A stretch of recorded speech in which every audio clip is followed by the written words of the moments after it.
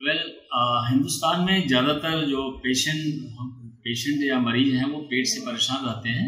उनको कब्जियत या ब्लोटिंग खट्टे डकार आना, ये परेशानियाँ उनको बराबर बनी रहती हैं।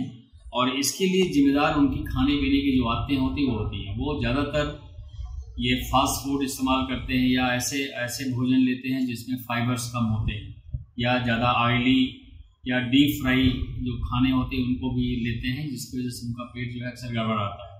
और इसी वजह से फिर और भी उनको परेशानी क्रॉनिक कॉन्स्टिपेशन भी आ, से लोग परेशान रहते हैं। तो ऐसी हालत में मरीजों को खान पान पर ध्यान देना चाहिए और मतलब भोजन में सैलड्स फ्रूट्स ये सब चीज़ें ज़्यादा होनी चाहिए बस अब बजाय इसके तली होनी चाहिए। ठीक है? और बाकी चीज़ें जो डॉक्टर उसको बताए उसको फॉलो करें।